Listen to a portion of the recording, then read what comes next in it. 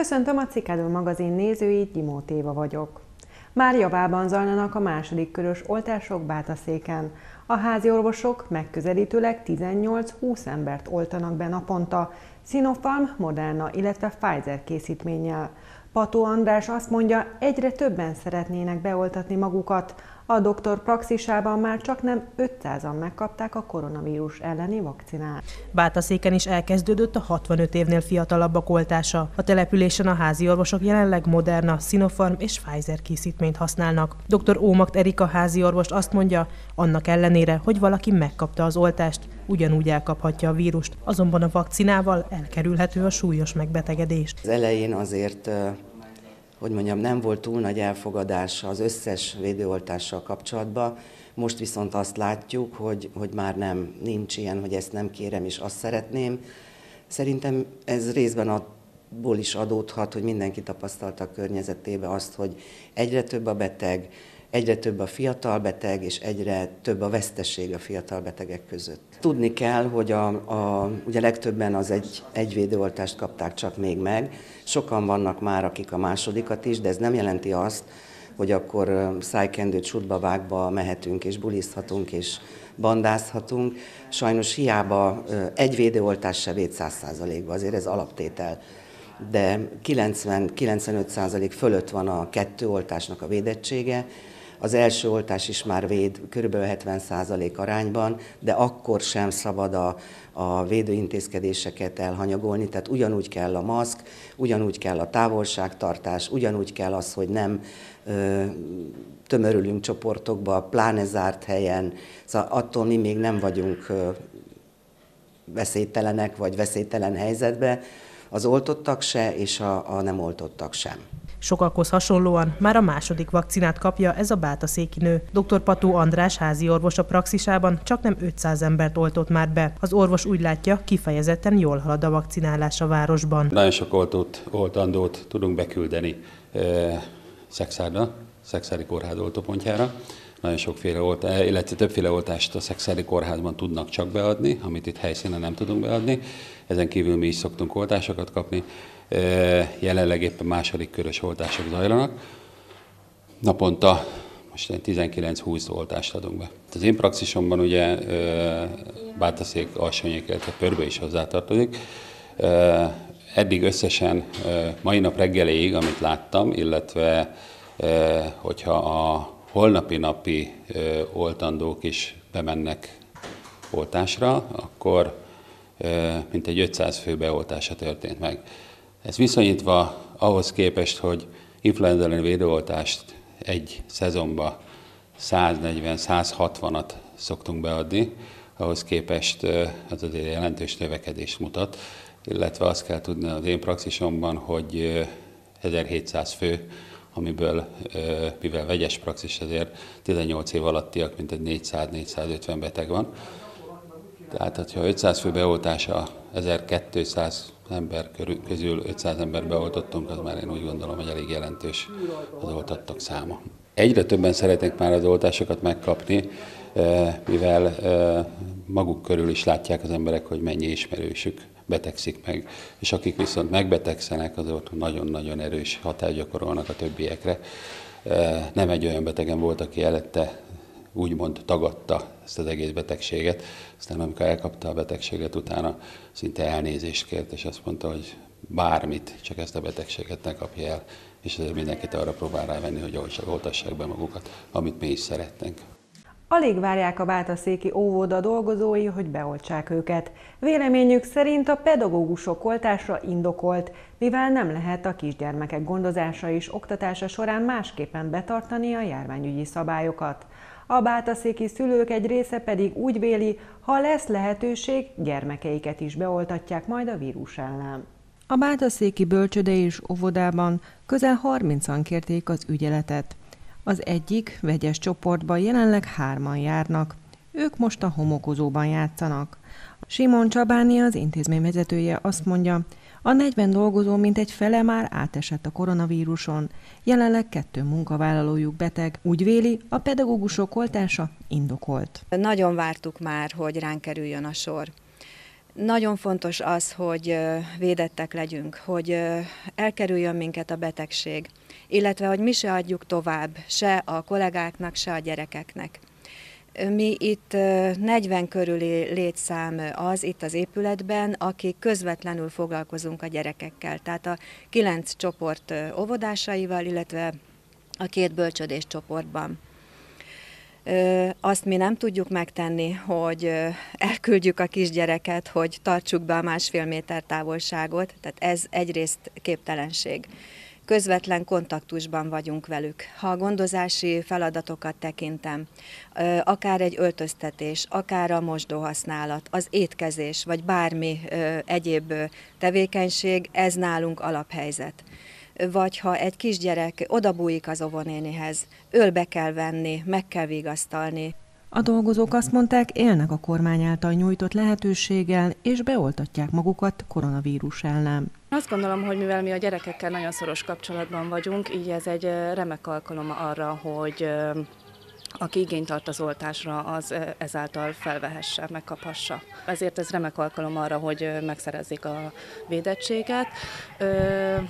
Ezek a kollégák élnek is a lehetőséggel, hogy mielőbb megkapassák ezt az oltást.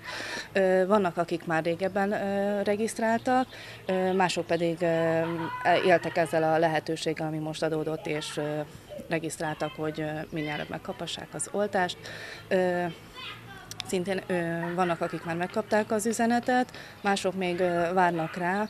Ebből az üzenetből kiderül, hogy hol és mikor kapható meg a, az oltás. A szülők úgy vélik, amint lesz lehetőség, magukat és gyermekeiket is beoltatják koronavírus ellen.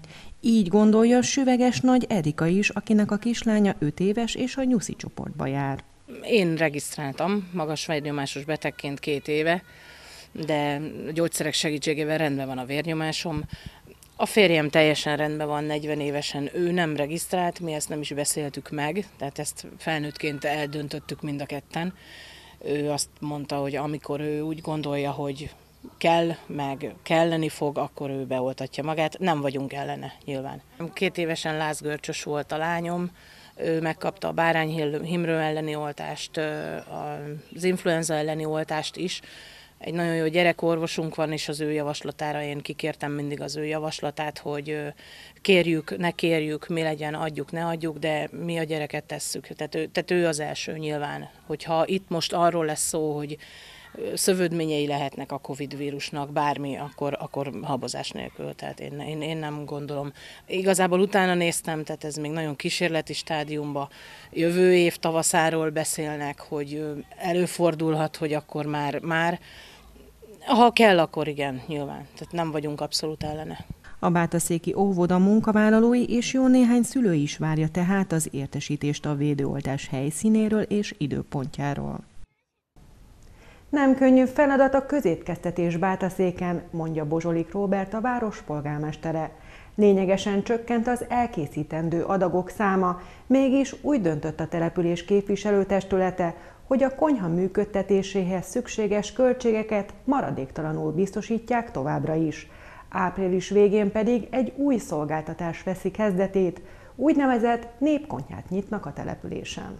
Bátaszékváros önkormányzata saját fenntartású konyhával biztosítja a közétkeztetést a településen. Pozsolik Róbert, polgármester azt mondja, a veszélyhelyzeti időszakban nem egyszerű ezt a feladatot ellátni, hiszen jelentősen lecsökkent az elkészítendő ételadagok száma. Egyrészt a közoktatási intézményekben eh, jelenleg nem folyik oktatás, óvodában is sokkal kevesebben veszik igénybe az ellátást.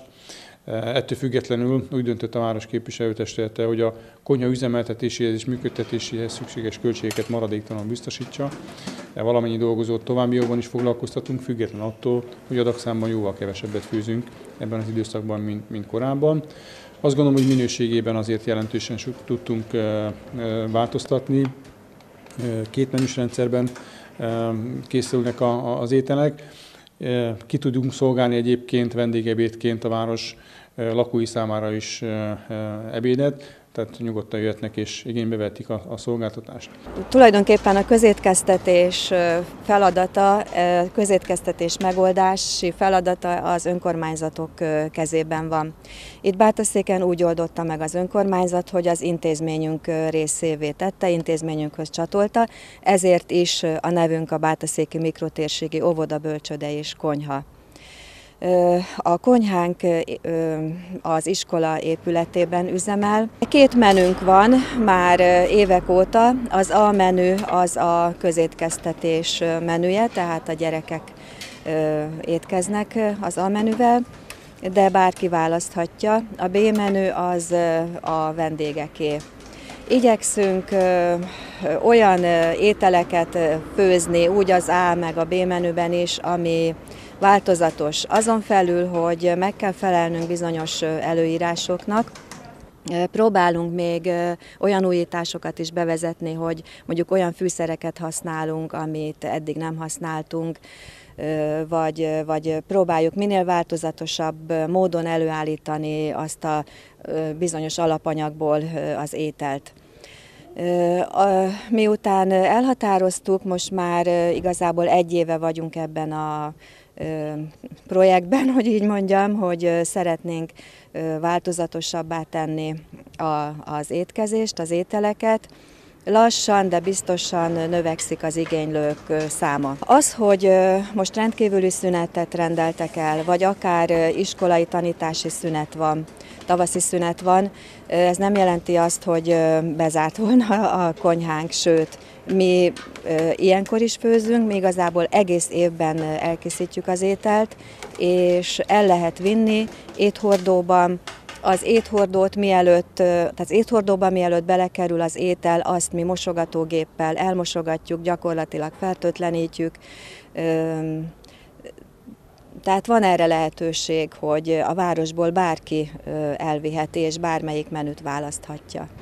Április végén úgynevezett népkonyha is indul a városban. Ezzel naponta egyszeri melegétkezést biztosítanak a rászoruló családoknak. Egy új szolgáltatási formát eh, kívánunk bevezetni az elkövetkező időszakban.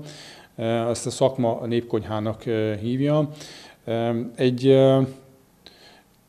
alföldi társadalmi szervezettel vettük föl a kapcsolatot, velük kötünk szolgáltatási szerződést, és rajtuk keresztül tudunk majd olyan szociálisan rászorult családoknak egyszerű meleg étkezést biztosítani, akik nem tudják máshogy megoldani az étkeztetés feladataikat, természetesen térítésmentesen tudnak majd hozzájutni ehhez a melegebéthez. Terveink szerint a Vörösmarty utcai épületben az idősek gondozására szolgáló épületben történik majd az ételeknek a, a kiosztása. Úgy gondoljuk, hogy valamikor április hónapban erre vonatkozóan már a helyi szabályokat is meg tudjuk alkotni, és bízunk benne, hogy április közepén, április vége felé ezt a szolgáltatást a rászorultak számára biztosítani tudjuk. A húsvéti néphagyományok közül az, amely polgárosodott formában, de a mai napig fennmaradt. Bátaszéken a Covid-járvány miatt idén nem szervezhettek közös ünneplést, de amikor még lehetett, nagyszabású közös rendezvényen ünnepelték a megtisztulást jelképező eseményt.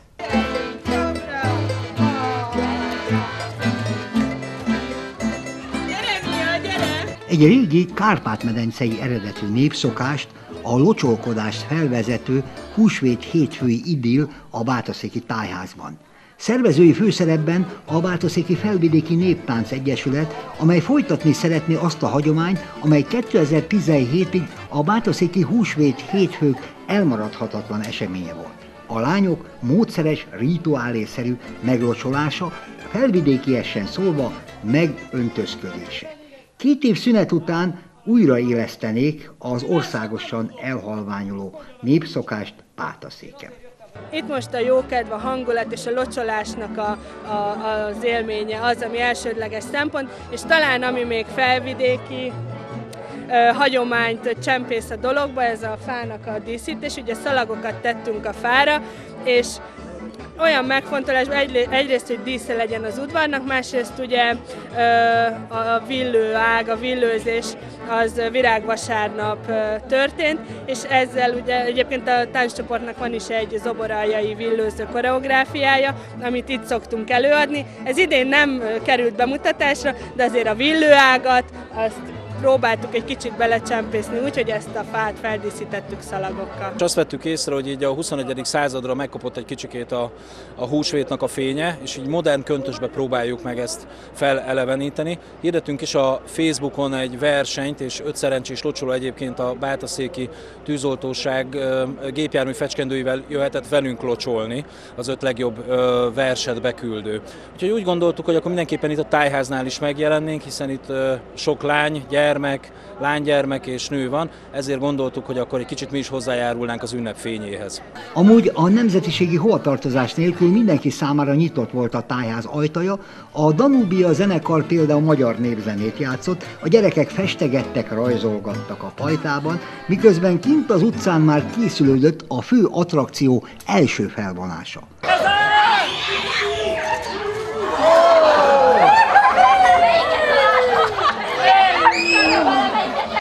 A katarzis a különböző generációs fiatalokból álló bátorszéki hölgykoszorú számára még ezután néhány perccel később jött el. Két tűzoltó autó parkolt le csendesen a tájház előtt. A helyi tűzoltóság képviselői előbb irodalmi arcukat megmutatva az általuk írt locsoló verset tolmácsolták a hölgyek felé. Ahogy ide betoppantunk, nagy autónkból meglocsolunk. Ahogy ide betoppantunk, nagy autónkból meglocsolunk. Vízünk friss és kellemes, tartályunkban többhetes. Vízünk friss és kellemes, tartályunkban többhetes. Elhervadni nem hagyhatunk, ezért locsol kis csapatunk. Elharmadni nem hagyhatunk, ezért locsol kis csapatunk. Lehöltünk egy jó menüt, így kapunk mi egy kis derűt. A megszelídített lányok önként dalolva álltak elébe a modern kori megöntözködésüknek.